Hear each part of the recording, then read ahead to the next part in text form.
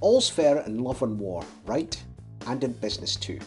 It might come as a surprise to you, but entrepreneurs can actually learn a lot about business from war. I know, it sounds crazy, but I've learned many business lessons from a Chinese text written 2000 years ago. I'm talking about The Art of War written by Sun Tzu. You might be wondering what an ancient text written in the Far East can tell me about running 21st century tech and property companies right here in the UK.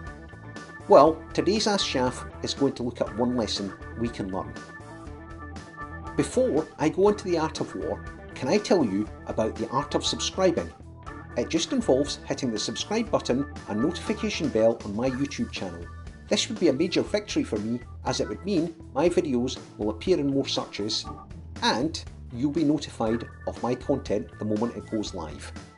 Back to today's Ask Shaf. The Art of War is a guide to military strategy, but entrepreneurs love it too because many of the tips can be used in the business world. In business, just like in war, you need to have a plan, tactics, and a strategy in place for success. Let's focus on one lesson today, and I will show you how I applied it from the art of war to the art of business. Sun Tzu wrote, Supreme excellence is winning without fighting. The best of all is to take the enemy's country whole and intact, to shatter and destroy it is not so good. So too, it's better to recapture an army entire than to destroy it. Tzu says winning every battle is excellent, but it's even better to win a battle without having to fight at all. Fighting is a last resort. It's far better to win without bloodshed, or, in the case of business, without commerce carnage. Let me give you an example of when I applied this logic to my business. We have to go back in time to the credit crunch of 2010. My company, SRA Ventures, was struggling to let the units at our Enet Park industrial estate in Linlithgow. In fact, we only had 20% occupancy rates. We'd been trying to attract tenants for months, but nothing was shifting. Not only that, we were competing with rivals who were battling the same problems. What a nightmare. I was advised to drop rents to get tenants in, but my gut was telling me not to do that. If I had, my competitors would have done exactly the same, putting me back at square one, embroiled in a war of attrition and having to deal with a market that I had destroyed because of the price drop. Don't forget, commercial leases can run for 25 years, so the investment value would have been potentially eroded for decades. Like Tzu said, I had to win the battle for tenants without fighting. I had to think outside the box and then the inspiration came to me.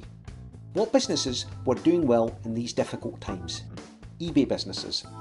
They had few overheads, they were selling discount goods to savvy shoppers who trusted the eBay name. But part of their success was they had low overheads because they weren't paying rent, because most of them were working from home.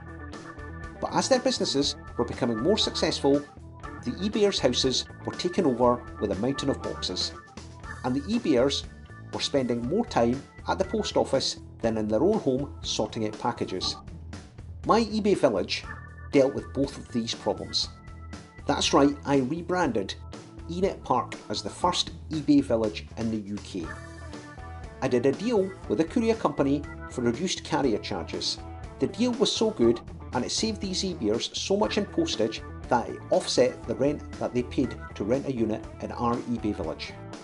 They were getting a top quality industrial unit for free, and instead of spending hours and weeks in the post office queue, they had more time to build up their businesses. And from my point of view, I had succeeded in getting tenants. Just a few weeks later, occupancy was up to 80%. So Sun Tzu's art of war can be applied to business by thinking outside the box. I was battle ready but didn't need to fight.